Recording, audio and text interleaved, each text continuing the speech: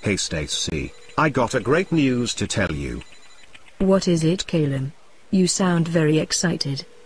I am pleased to announce the release of KalemSoft Media Player version 0.5.0 public beta. Whoa, that's great. What are the improvements compared to the previous version? I can't tell you all of them but read the description of this video.